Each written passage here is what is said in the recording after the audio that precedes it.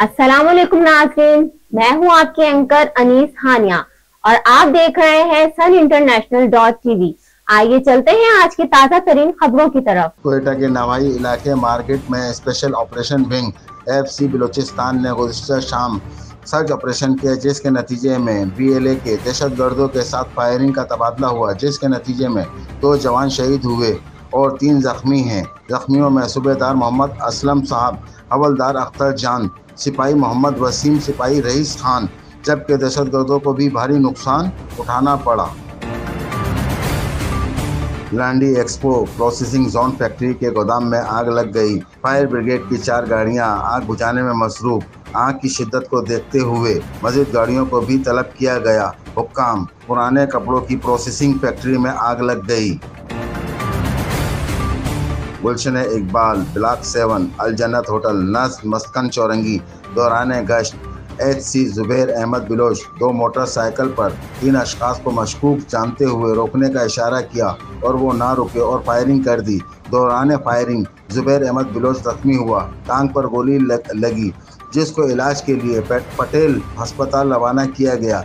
जवाबी फायरिंग में दो डकैत फैसल उर्फ़ इम्तियाज़ वल अब्दुलरहमान और आबादुलरहमान वल्द अब्दुलरहमान जख्मी हालत में गिरफ़्तार हुए। जिनसे बरामद पिस्टल एक नाइन एम एम और तीस बोर पिस्टल, दो अदद मोटरसाइकिल बगैर नंबर प्लेट के पुलिस ने कब्जे में ले ली। एक डाकू फरार हो गया। जख्मी डाकू जिना अस्पताल रवाना किया गया। मजीद तफ्तीश जारी है और मुकदमा अभी तक दर्ज नहीं हुआ। मारूफ बिजनेसमैन फिरोज अली कामदी और मोहम्मद वसीम कामदी।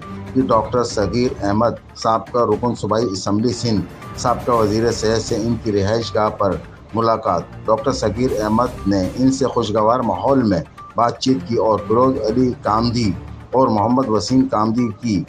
सोशल मीडिया की काविशों पर इनको सराहा और बहुत बहुत दुआएँ दी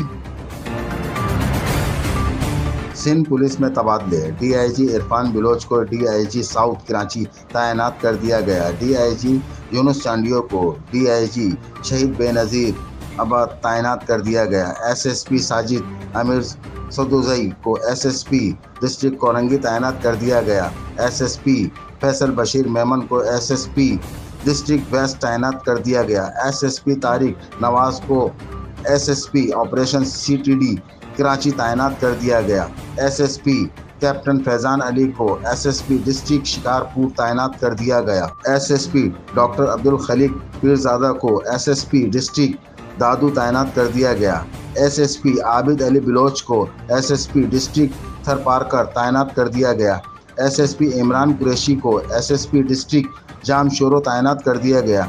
एसएसपी शहजाद नज़ीर को आईजी सिंध ऑफ़िस में तैनात कर दिया गया। मजीद खबरें और तफसीत के लिए देखते रहिए sun international dot TV. Like और सब्सक्राइब करना मत भूलिए।